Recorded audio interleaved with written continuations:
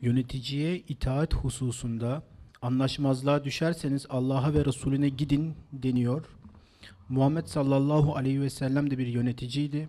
Sahabe onunla anlaşmazlığa düştü mü? Düştüyse ayeti nasıl uyguladılar?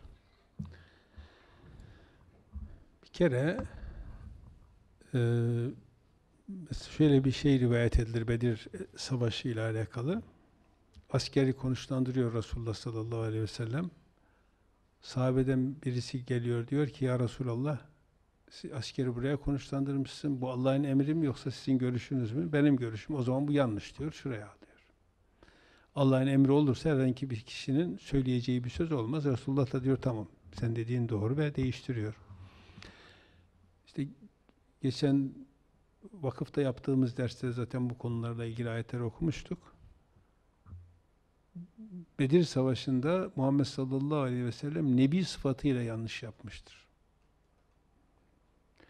Mesela savaşta şey yapmadan önce düşmanın tamamen etkisiz hale getirmeden esir almıştır. Esir alınca Allahü Teala diyor ki Estaizu bile ma kana nebiyyin en yekuna lehu esra hatta yudkhine fil ard. Enfal 67. ayet. Hiçbir nebinin savaş meydanında düşmanı etkisiz hale getirmeden esir almaya hakkı yoktur diyor. Yanlış yapan kim burada? Muhammed sallallahu aleyhi ve sellem. Peki ondan sonra da diyor turidune arada dünya. Siz dünyalık istiyorsunuz. Aradal hayati dünya. Siz dünya hayatı arada dünyaydı değil mi? Evet. Siz hemen elinize geçecek bir şeyler istiyorsunuz. İstiyorsunuz çoğul. Çoğul kim olur? Asap da dahil olur. Demiş oluyor ki niye peki müdahale etmediniz?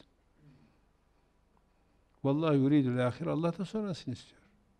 Arkasından levla kitabı minallahi sebeka lemessekum fî mâ akattum azâbun azîm.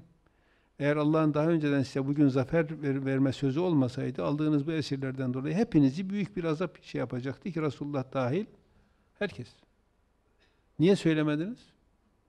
İşte bu kadar yani e, Resullük sıfatı söz konusu olduğu zaman Allah'ın ayetinin tebliğidir o. Nebi bir insan yani bir şey gibi. Mesela bir, bir öğretmen 24 saat öğretmendir ama 24 saat ders vermez. Ders verdiği zaman dersini doğru vermek zorundadır ama onun dışında yanlışlar yapabilir.